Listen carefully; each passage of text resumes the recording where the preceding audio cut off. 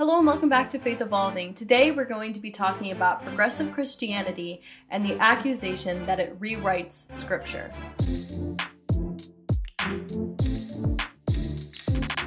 So, progressive Christianity is an umbrella term for those who embrace postmodernism in their theological approach. And in this, progressive is not inherently synonymous with the progressive of politics. However, often progressive Christianity focuses on the likes of social justice, environmental stewardship, embracing diversity, and a willingness to question tradition. And a lot of those goals do overlap with progressive ideology in politics, but it's more of a correlation than it is a causation.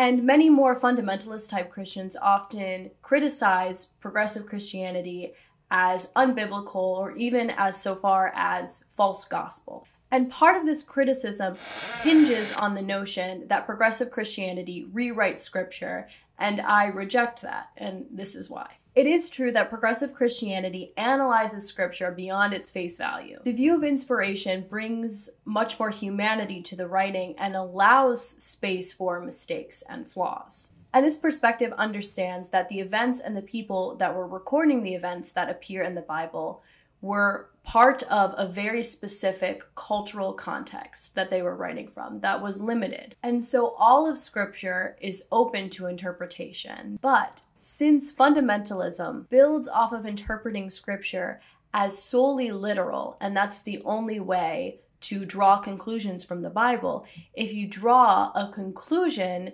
that is different from the more fundamentalist, more like conservative approach, the only way that you could have done that is if you had rewritten the words. There isn't much room for looking at it as literature, as poetry, and interpreting it as possibly metaphor. You either reject everything that the text says or you accept everything with a couple asterisks that the text says as a manual, basically. And to me, this is where the term progressive is actually a bit of a misnomer. Yes, progressive Christianity is progressive in maybe its ideology or its goals, it's about making advancement. However, it's regressive in its interpretation of scripture. It intentionally pays special mind to history and literary styles and translations. It looks at what were the motivations or the context that translators or the people writing it down or recording it for the first time were in. Why why were they writing this? Why did they think it was important? Why was it important that these particular stories were put in the canon? The aim is to have a more precise and a more holistic view of the bible. A notable example of how considering what was happening in history at the time informs our interpretation of scripture is roman household codes in the epistles. The early christians were genuinely persecuted for their faith not what people are claiming in the U.S. right now. That's putting chemicals in the not, water that turn the friggin' frogs gay. But because of their radical message of subversive justice and toppling oppression, they were targeted and often killed. And so they're like, we'd like to not be killed if possible. Do you have any advice? And Paul and other people wrote them letters. And the goal was to try to help them blend in so that they can have community without getting martyred all the time. And in that, there was a fair bit of compromising of, you know, it's best if you fall in line with these Roman household codes so you have less of a target on your back. But within that, try to live out this message as best as you can. And also, it's crucial to consider that Paul himself was a new Christian. And so he was kind of figuring it all out as he was writing these letters. So his theology and his ideas evolve, and it's why there's so many inconsistencies because he was a person just trying to figure it all out and himself trying to not get killed or imprisoned that much, though it still happened, but prolonging the inevitability as much as he can. It's almost as if his faith was evolving. I it's amazing. And a notable example of how literary styles should be considered is as it pertains to apocalyptic literature. Now, when I say apocalyptic literature, I'm not talking about the craze of trilogies that they then turned into four movies Hunger Games, Divergent. I was in middle school, I was on the front lines of that. No, I'm talking about like Daniel's dreams and revelation. So in Greek, apocalypse means revelation or disclosure or an unveiling. It's about being able to see things that wouldn't have previously been known. And it's not just the end of the world, point blank, we're all dead now. It's the end of the world as we know it. So uh maybe chill on the rapture stuff. Yeah? Yeah? Okay. So in the Bible, people have individual apocalypses where you have an encounter with the divine and you personally see a situation clearly for what it is. But then there's also like this large scale crazy stuff with natural disasters and stuff.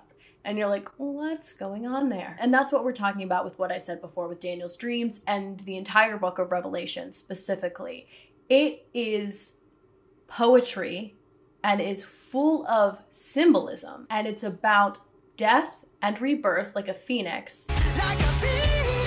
And all of the symbols can be traced throughout, you know, the rest of the biblical literature to that point. That's why it's at the end. But then people decide to interpret it literally and scare people. And it makes me very angry, and um, probably will be another video at a different point when I'm able to take a whole class in it and I feel confident more in my words. But yeah, don't take poetry literally. It'd be like reading a John Milton poem, be like, that's what heaven is like. Or reading Dante's Inferno and being like, that is for sure factually what hell that's definitely real is like. Except, wait, we literally already did that. Help! Why don't we understand metaphor? Why don't we understand literary devices and figurative language. I don't understand.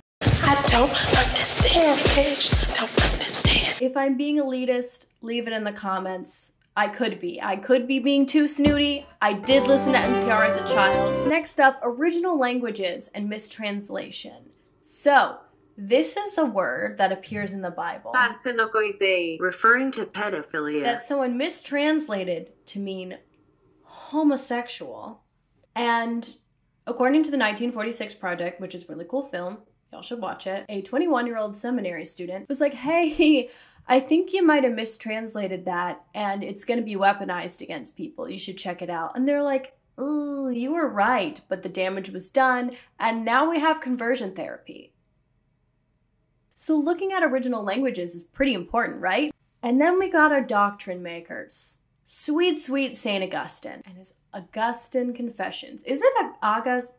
Is it Augustine or Augustine? Take your pick, darling. Either one. Did Florida just be like, "We're gonna say it's Saint Augustine"? I'm nervous that I sound like an idiot. Um, no comment. So yeah, he wrote his confessions, and it's a mix between exegesis of just being like, "This is how we should interpret the Bible," and just his life kind of like a little autobiography memoir situation. And so he projected a lot of his own stuff in there.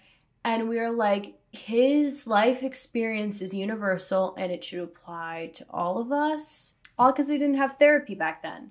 So, all of that is really fun. But do you know what's the most fun about all of this? Fundamentalists have actually rewritten scripture in a way. I mean, they just made their interpretation the only interpretation. But in their eyes, that would require rewriting scripture. I'm being too sassy. As I said, homosexuality was added and demonized in 1946. That was not that long ago. And we're like, it's always been like that. I don't know what to tell you. Wasn't talking about pedophilia. It's always been like that.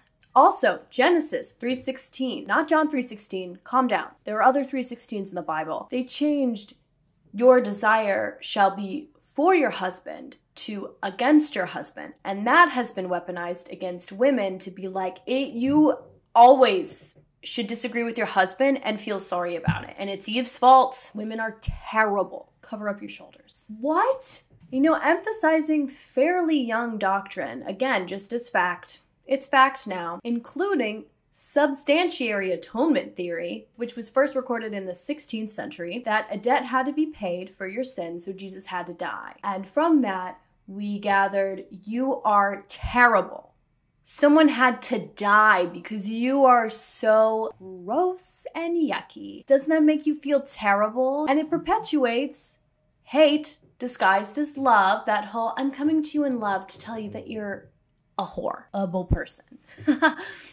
when the whole thing's just love and justice and toppling oppression. Also, again, with the end times rapture, that was from the 1830s because of what's his name? John Nelson Darby. Thanks, buddy. So here's my conclusion, my jolly old conclusion. For those who are accusing others of rewriting scripture or cherry picking or false gospel, to first take out the plank in one's own eye so you can see clearly to remove the speck in your neighbors. Because I'm sure my theology, I got some stuff wrong. You gotta pull out the other thing to make sure you clearly identify it. And I try to do the same. I really do. Um, so I got pretty sassy. I just want to get back to watching Riverdale. I'm weird. I'm a weirdo. I won't take any hate for it. It is wildly entertaining for how terrible it is. Just like fundamental. No, I can't say that. Bye.